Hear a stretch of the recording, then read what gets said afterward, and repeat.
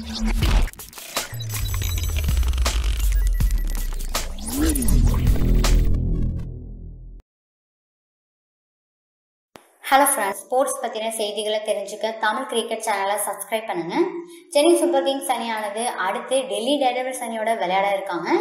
இந்த மேட்ச்சில் Chennai Super Kings அணியில் யார் யாரெல்லாம் விளையாட போகிறாங்க அப்படிங்கிறத பார்க்க போகிறோம் Shane Watson Ambati Rayudu Suresh Raina Sam Billings Dhoni Jadeja Bravo Harbhajan Singh Shardul Thakur. அது மட்டும் இல்லாமல் சென்னை சூப்பர் கிங்ஸ் அணிக்கும் மும்பை இந்தியன்ஸ் அணிக்கும் நடந்த மேட்ச்சில் தீபக் சாகாருக்கு அடிபட்டிருக்கு. அதனால சென்னை சூப்பர் கிங்ஸ் அணியில மார்க்குட்டை வந்து ஜாயின் பண்ணியிருக்காங்க. மார்க்குட் ஒரு வெளிநாட்டு பிளேயர் அது மட்டும் இல்லாமல் ஒரு ஸ்பீட் பவுலரும் கூட.